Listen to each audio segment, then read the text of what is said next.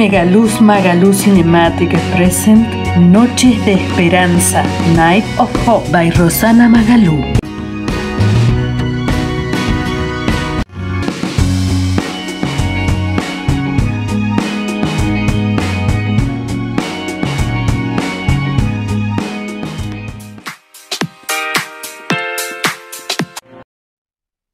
Buenas noches, ¿cómo están?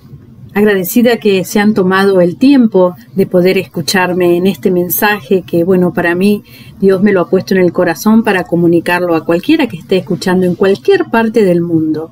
Qué impresionante como el otro día el primer programa tuvo rapidito más de mil vistas y ha sido traducido por YouTube en cada país, puso advertising o puso publicidad. Así que estoy muy contenta porque no me lo esperaba para nada la repercusión y le agradezco todos los comentarios que han hecho tan bonitos. Acá estamos para servirles, para darle una palabra de aliento antes de irse a la cama. Y entonces hoy quería tocar el tema Um, muchas veces me preguntan, sí, Rosana, hablar es muy bonito, pero ¿qué pasa cuando se te muere un hijo? ¿Qué pasa cuando oras o rezas y se te muere tu mamá? Anyway, eh, igualmente, ¿no es cierto? Y son temas eh, bien delicados, pero que la Biblia los tiene todos. Voy a aprovechar a mostrarte eh, mi libro que se llama Encontré la vacuna, pero es Encontré la vacuna espiritual. Es fácil a veces recibir la revelación divina, digo yo, y empezar a escribir, pero es un poco difícil eh, para mí también practicarlo, porque somos seres humanos. Si la revelación viene divina, tú escribes, escribes, no importa si estás en el medio de una pandemia o en donde estás.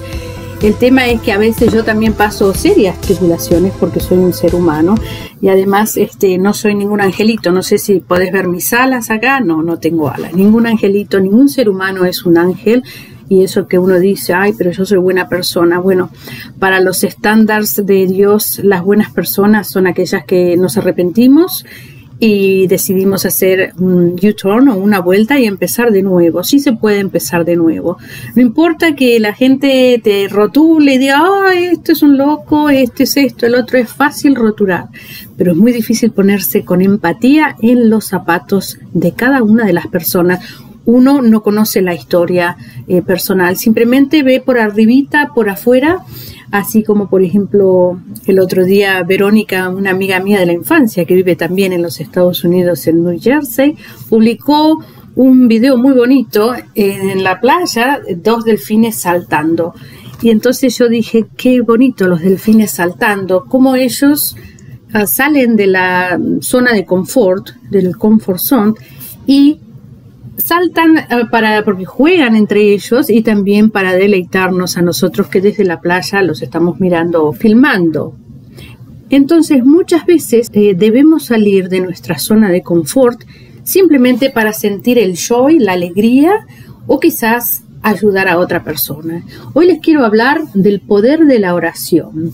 No importa si sos católico, si sos lo que seas o si no crees en nada. El tema es que hay algo más fuerte que nosotros, hay algo perecedero, que somos los seres humanos, y hay algo que el mundo sigue andando, ¿verdad? Cuando yo me muera, el mundo no va a parar. Eh, posiblemente algunos me recuerden con cariño, otros dirán, uy, qué suerte que esta se murió. No sabemos lo que realmente hay en cada corazón de cada persona, pero lo que sí sabemos hay lo que hay en nuestro corazón. Y sabes una cosa, Dios también sabe lo que hay adentro de tu corazón. Mucha gente me dice, sí, Rosana, lo que pasa es que vos no sabes lo que yo hice, pero Dios sí lo sabe. Y el arrepentirse no es este confesarse ni con un cura, si tú quieres hacerlo, no hay problema, pero la Biblia no dice eso. La Biblia dice que hay que confesarse con Dios en privado, en tu habitación o donde quiera que tú estés en tu auto, en una cárcel, en un hospital, y decir, Dios mío, he hecho cosas que no son correctas, me arrepiento y no las vuelvo a repetir, porque eso de que vamos el domingo a la iglesia, eh, vaciamos la cubeta de los pecados, las cosas malas, como le quieras llamar, y después el lunes otra vez a llenar la cubeta con cosas malas, es este no aceptable. Pero bueno, también hay un tiempo de adaptación. Yo he hablado con gente que tiene diferentes adicciones y esta gente, claro, no es fácil a veces cortar de una sola vez. Muchas veces Dios actúa y de verdad lo hace eh, en una vez y otras veces se necesita ayuda psicológica, de medicina, siempre recomendado por alguien que tenga capacidad para hacerlo. Entonces, bueno, volviendo al tema, eh, que les decía que la gente me pregunta, este, tú porque no estás en mi zapato, no, yo no estoy en tus zapatos, pero sí te puedo decir de muchos personajes que han estado en tus zapatos, porque no hay cosa que tú me puedas decir que la vida de Jesús no la haya pasado.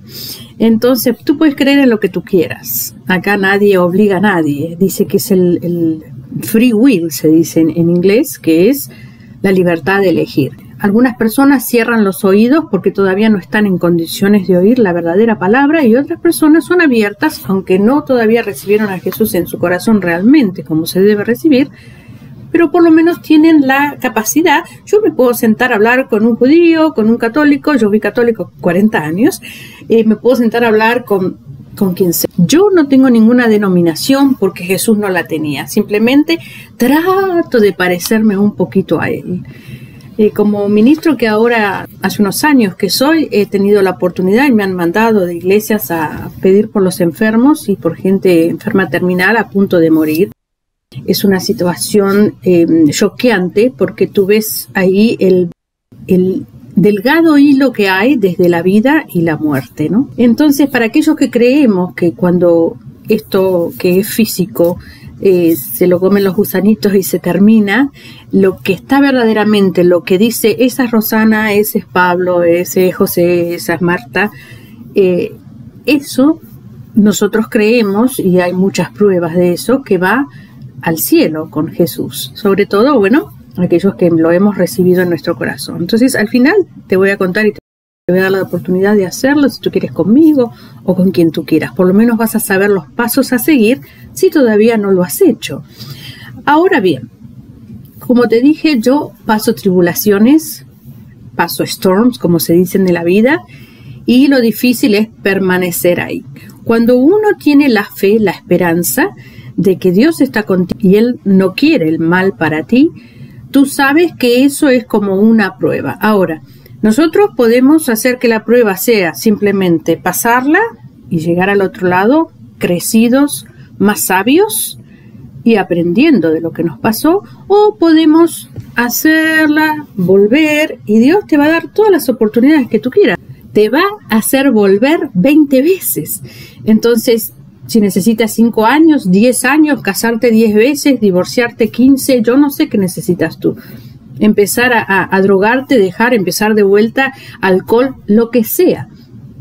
No sé lo que tú estás necesitando. Lo único que yo te digo que hay una persona que existe, que se llama Jesús y que te puede ayudar. Es el amigo más fiel que vas a encontrar en tu vida. Es el único que realmente uno puede ir y decirle yo no puedo más con esto, aquí lo tienes. Y el poder de la oración, que es el centro de esta conversación de esta noche, es contarte que en una de las tribulaciones más grandes que he tenido, de problemas que he tenido, buscando dónde vamos a poner un nuevo estudio y en qué estado de los Estados Unidos o provincia, nos convenía hacerlo, si nos íbamos a mudar, a vivir, fue mucho el estrés, tenemos animalitos, etcétera. Entonces, a todo ese estrés, cuando uno está tan apabullado de, de, cosas que hay que resolver uno, ¿no? Eh, te olvidas de lo que yo misma escribí, ¿no es cierto? Y lo que escribí acá es eh, verdaderamente muy simple. Eh, dice que este libro realmente yo lo recibí, digo yo, del cielo porque no, no creo que tenga la capacidad yo sola para hacerlo, ¿verdad? Y lo que trata es que si tú escribes todos los problemas o todos los complaints, todo lo que te molesta, y lo dejas ahí, eso pasa a formar, como dice Efesios 6, una mala energía. Y la guerra no es contra sangre ni carne, la guerra es contra la hueste de maldad de esferas celestiales. Entonces, el libro básicamente te enseña cómo revertir el problema en una solución, quizás no inmediata, pero solución al fin. Y volviendo al tema de cuando uno ministra a una persona que está al borde de la muerte, que como les digo es bien choqueante porque yo he visto hasta cuando el, corazón dejó de latir en el monitor y es bien fuerte ese momento, ¿verdad? Y esa persona nunca jamás, y por lo menos he, ido a 15 lugares diferentes en los Estados Unidos, nunca jamás te va a decir cuánta plata tengo en el banco, nunca te va a decir eh, la piscina tiene cloro suficiente o sal suficiente, te va a decir y el auto me lo arrancaron esta mañana, nadie. La cosa constante es, está mi familia, están mis hijos, dile a mi mamá que la perdono, dile a mi mamá que me perdone, dile a mi papá. Siempre es el mensaje eh, familiar. Yo no, con esto no quiero decir que eh, el dinero y las cosas no sean importantes, porque hasta para predicar se necesita dinero, porque tenés que tener un estudio, tenés que pagar la renta, tenés que pagar la internet. Yo no estoy diciendo eso, al contrario, es necesario el dinero y trabajar también como está escrito en la Biblia. Pero cuando uno va eh, creciendo espiritualmente y leyendo, es como cuando vas a la universidad el primer año en medicina no te vas a poner a hacer una cirugía, ¿verdad? Si sos un futuro doctor coherente, ¿verdad?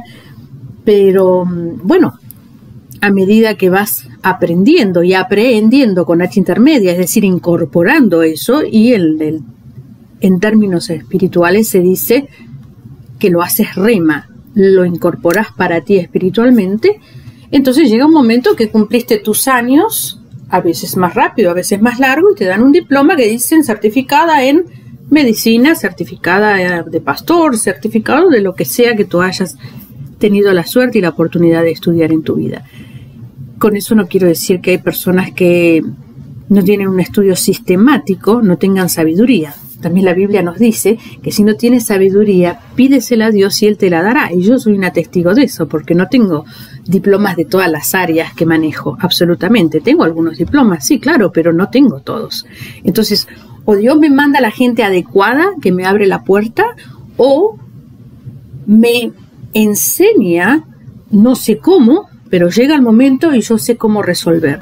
Vos me preguntabas eso hace 20 años atrás y te decía, es imposible olvidarte. Hoy que aprendí lo que es el poder de la oración, que es nada más y nada menos que el poder de Dios, hoy que lo aprendí, lo aplico. Pero a veces el diablo, la mala onda, los demonios, todo lo que tú quieras. El diablo es uno solo y está en el cielo. Acordate que fue un ángel caído en contra de, de Dios. En contra de Dios. Entonces lo que hay son demonios y mm, hay ángeles que nos amparan, que no son seres humanos muertos. A los muertos hay que dejarlos en paz. Esa gente que va a hablar con la mamá, con el papá, está haciendo que ese espíritu quede en un área que no tiene que estar. El espíritu tiene que estar con Dios si fue un arrepentido y llegó al cielo. Entonces hay mucho por hablar, hay mucho por aprender. Te recomiendo que si puedes, mi libro sale 3 o 4 dólares si es audible. Está en todas partes. Se llama Encontré la vacuna o I found the vaccine. En los Estados Unidos lo puedes comprar por Amazon, lo puedes comprar por Barnes Noble, lo puedes eh, comprar audio si te gusta más escucharlo. Ponemos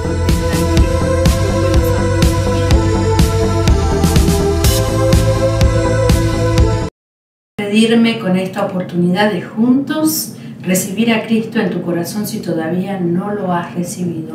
Mucha gente piensa que porque cree en Jesús es salvo o ha recibido a Cristo en su corazón. Creer en Jesús es una parte de la historia. Muchas veces en determinadas iglesias no enseñan qué significa ser salvo. Ser salvo, dice la Biblia, es confesar con tu boca que Cristo resucitó entre los muertos, que Él es el único Dios y que es tu Salvador. Si tú quieres hacer esta simple oración conmigo, yo te invito a que lo hagas.